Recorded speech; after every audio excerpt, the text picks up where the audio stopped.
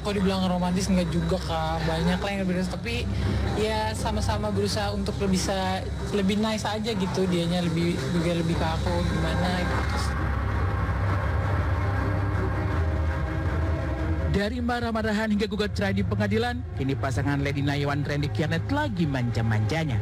Jika sebelumnya tampil di depan sorot lampu kamera nyaris selalu dengan wajah tegang dan pucat, kini Randy dan Lady umbar mesra. Saking gemesnya, Randy tak sungkan gigit manjat tangan Lady sang istri. Tak sampai di situ saja.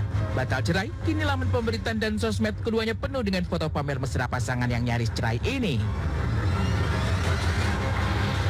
Ya, Randy nyaris menyanyikan sang istri dan anak-anaknya. Beruntung, kesempatan kedua itu datang. Kesungguhan hati yang ditunjukkan Randy untuk berubah melelehkan gunung es yang sudah membuat hati Lady membeku. Lady kembali ke pangkuan Randy Kiernet dan memulai sejarah baru dalam keluarga kecil mereka.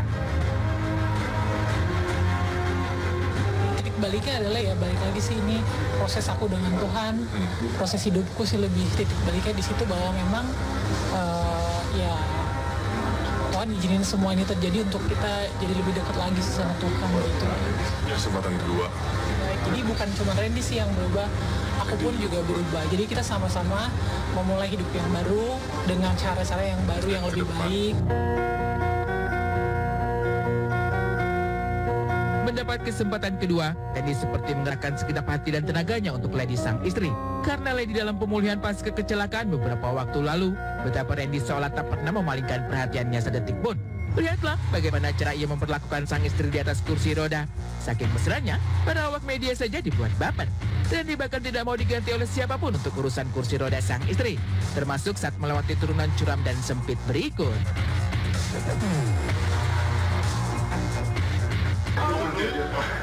그래도 가는 거 아니냐, 이래가 봐.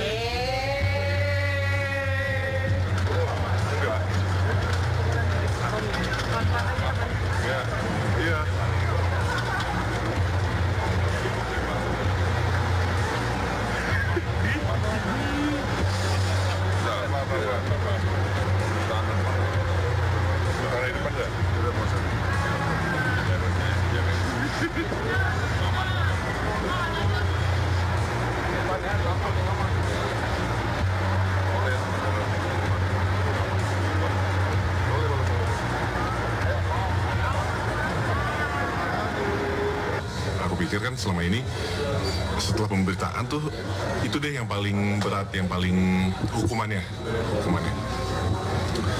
Tapi ternyata tuh ya aku mungkin nggak bilang hukuman ya mungkin diingetin lagi sama Tuhan ya. Ini loh yang penting lady dan uh, di balik musibahnya juga banyak hikmahnya banyak blessingnya.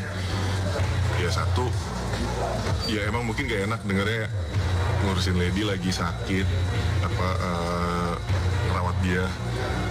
Tapi kan kalau nggak kayak gitu aku nggak ketemu dia tiap hari.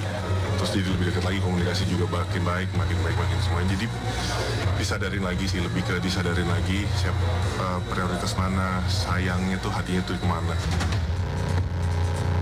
Meski kini sudah resmi menyatakan rujuk, Lady Naiwan dan Randy Kiernet masih harus mengikuti sidang satu kali lagi, yaitu sidang putusan pembatalan perceraian mereka.